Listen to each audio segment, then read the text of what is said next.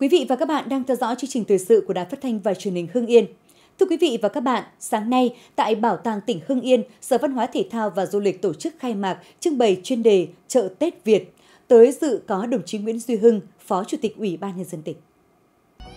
Chương trình trưng bày chuyên đề Chợ Tết Việt nhằm tái hiện lại không gian và những phong tục tập quán, trò chơi dân gian ngày xuân, giúp khách tham quan được trải nghiệm hoài niệm về những ngày Tết đậm đà bản sắc dân tộc. Qua đó, khơi dậy niềm tự hào, nâng cao ý thức trách nhiệm của mọi tầng lớp cán bộ, nhân dân, đặc biệt là thế hệ trẻ trong việc gìn giữ và lan tỏa những giá trị văn hóa truyền thống tốt đẹp của ông cha trong cuộc sống đương đại. Tại buổi khai mạc trưng bày, các đại biểu đã được xem các nghệ nhân, nghệ sĩ trình bày các loại hình nghệ thuật truyền thống như hát ca trù, chống quân, dầm trèo, thực hiện nghi thức dựng cây nêu ngày Tết,